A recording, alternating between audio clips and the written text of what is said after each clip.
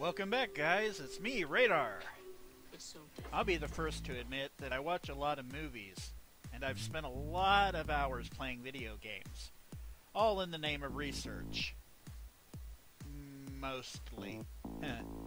anyway, I have noticed a few things, some obscure and some pretty blatant references in both genres.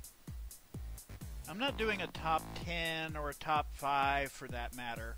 I just wanted to share a few things that, you know, that stuck out in my mind. There are many, many game references in Scott Pilgrim vs. the World. I mean, come on. Scott practically lived in a video game. That was the whole point. But do you remember when Scott and Knives were on their date? They were playing a uh, game called Ninja Ninja Revolution. That was obviously inspired by Konami's famous arcade game hit Dance Dance Revolution. Pretty cool. And what do the Evil Dead series and Duke Nukem have in common? Well, unless you've been in a cave for the last several decades, then you know what I'm talking about here.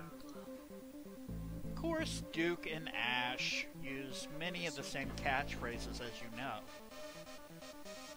What some people might not know is that Duke Nukem's 3D cover art was heavily inspired by the Army of Darkness movie poster. If you haven't seen it, I suggest you do, because the similarities are scary. But if you did notice this, then you're as much of a geek as I am. Congrats. Panned as a full-length commercial in the 1980s, The Wizard featured numerous video games and accessories for the NES. Most notably, Super Mario Bros. 3, which became the highest selling video game of all time. It was unveiled towards the end of the movie during a game tournament. Course, let's not forget about the Power Glove. This control for the NES boasted that you could make simple movements with your hand and, and the game would respond.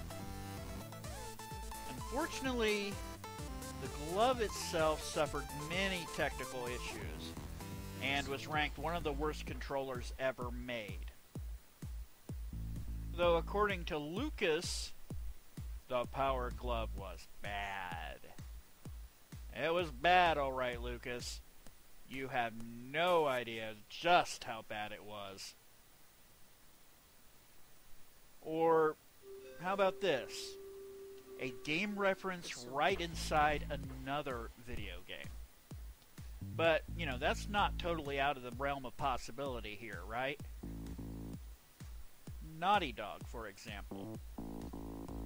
They were pretty clever here, throwing in numerous little Easter eggs to former titles. The Last of Us being at the top here for me. You know, because that was the last Naughty Dog game I really played through. Just keep your power gloves off her. There's a part in the game where Joel and Ellie are moving through, uh, you know, a, a destroyed toy store. There's really nothing of real note here, you might, you know, you might say. But if you go to one of the corner shelves, you see a board game referencing Uncharted. If you all remember Uncharted, that was the, you know, that was the popular hit from Naughty Dog before, featuring Nathan Drake. And is it me, or does Nathan and Joel look eerily alike? Well, I guess if a character mo- character model works, why mess with a good thing, right? In Back to the Future 2, Yep, we're back to Back to the Future again. Yeah, big old geek here. But the Wild Gun, the Wild Gunman game cabinet in Cafe 80s was actually it was specifically made for the film. Wild Gunman was was an actual light gun game for the NES and the Nintendo Famicom. But, you know, it really wasn't released as an arcade cabinet. Most of the sound effects that you hear in the movie are from the game, but the artwork featured in the game was redone. In actuality, the graphics for the home consoles were a lot better. And, well, these are just a few things that I found interesting. How about you? Any favorite game or movie where there's a nice little gem to be found? But, you know, that's it for me. I've run on long enough. Y'all got suggestions for a future show? Maybe pics to share for a Sunday signage? Well, you can Twitter me at Radar Cub or email me at 4bstudios at yahoo.com. That's F O U R B Studios at yahoo.com. I'd love to hear from you. Till next time, that's all I got.